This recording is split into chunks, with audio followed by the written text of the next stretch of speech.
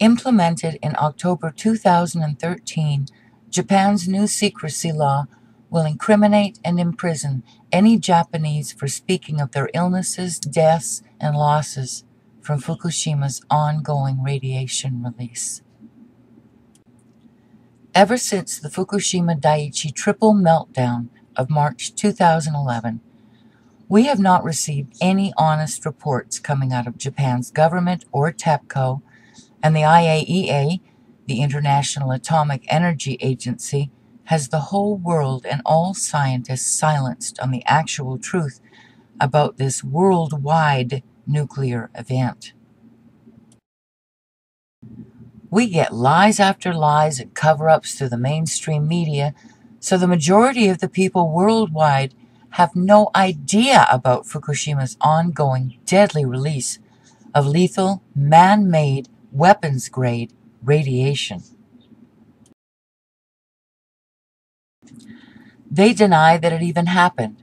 They say it is anything else other than radiation causing our illnesses and cancers. They blame it on cigarettes, alcohol, asbestos, all the things they have been blaming over the years. But these things are becoming less and less in the world. Less people are smoking. Asbestos is being removed from existence. Alcohol use is about the same. So how could they be to blame for the acceleration and now higher statistics in cancer rates, heart attacks, and birth deformities worldwide? One out of every two men and one out of every three women will be diagnosed with cancer. You are being lied to, and they are laughing at you as you follow along with and believe in their lies. Einstein once said, The world will not be destroyed by those who do evil, but by those who watch them without doing anything. Try asking someone you work with if they know the current news on Fukushima, and most will give you a blank look saying something like, What is Fukushima? Never heard of it.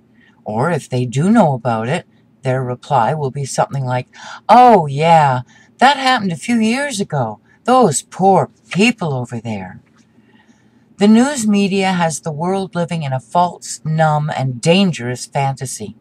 And the people don't want you to rip them out of that imaginary world they live in.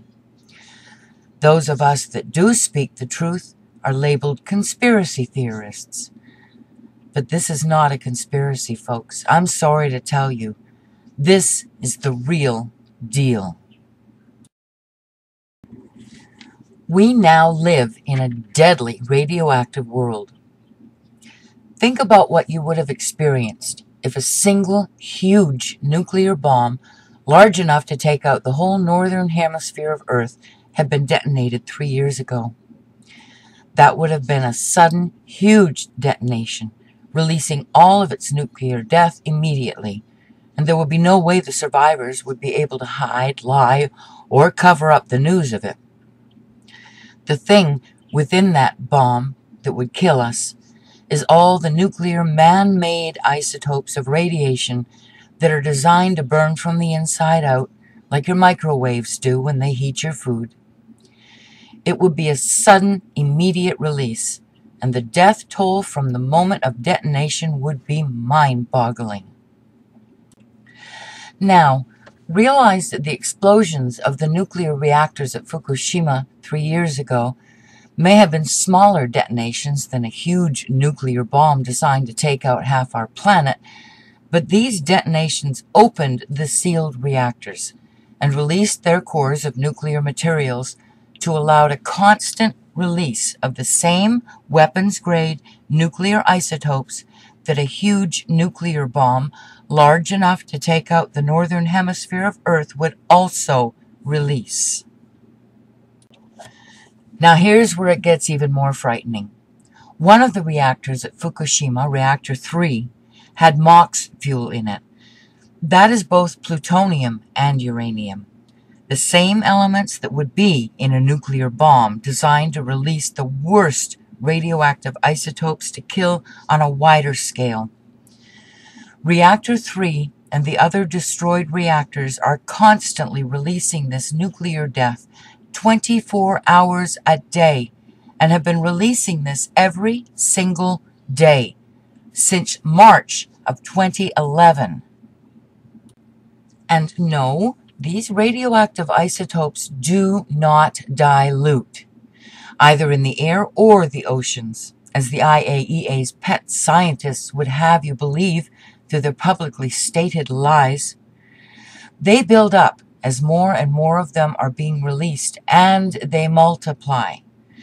These isotopes are neutrons, protons, and electrons, atoms, in fission. And after their so called half lives, they do not just disappear or get weaker. It is the fission that separates, splits the atoms into two or three. The daughters of these are now two or three times as many. And when their fission is complete after their half life, each one of those gives birth to two or three more, even deadlier radioactive isotopes that have much longer lifespans than their parent isotopes that are also undergoing their own nuclear fission.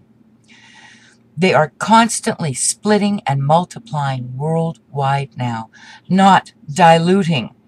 In fact, the word diluting doesn't even belong in the same sentence that is related in any way to man made nuclear isotopes. When these isotopes enter your body, they burn their way through your body's cells and your DNA as they undergo their fission. The cells become damaged and begin to attempt to repair themselves, but your damaged DNA no longer has the ability to provide the blueprint for that cell's original composition. So the damaged cells grow and grow, not knowing when to stop until they become malignant, cancerous, tumors. If your DNA is damaged and you have offspring, your DNA no longer has a working blueprint to be able to know how to build another life. So we see terrible deformities in new births, including our wildlife and in our plants.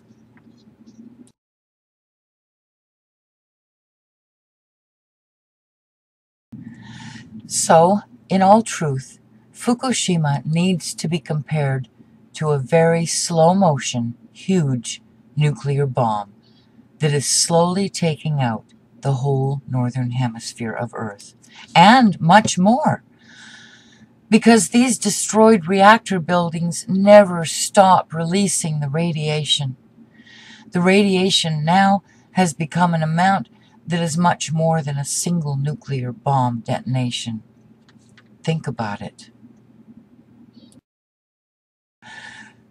They don't even know where the three cores that escaped their reactors are now. So they continuously pour water over the areas to hopefully keep them from getting hotter. they are hot and fully active, burning their way with full nuclear fission into Earth's crust. Japan has no idea what they're doing and will not accept any help from the worldwide nuclear scientific community above all issues on Earth, we need to stop this radioactive release. But what we need to stop it with has not yet been invented. So, what is needed is a scientific think tank to be formed to attempt to invent something to stop this release. But the IAEA has the nuclear scientific community turned into puppets. Instead, our once trusted scientists speak of this disaster as though it is nothing to worry about and compares it to natural, not harmful potassium 40 radiation in bananas and licking iPhone chargers. These levels of radiation are just above natural background at the WIPP site. And so there is no expectation that those measurements for you or your children or anyone else will show exposure on a lung count. They're down in the levels of licking your iPhone charger. And I'm not trying to be funny, I'm trying to equate radiation exposure to something that you can. They're treating us as though we are as mindless as snails and watching us fall ill and die. Their argument will be that they do not want to create mass hysteria. Well, By not giving the world the truth, they are taking away our chances of survival. And I believe that puts them into the category of being mass murderers.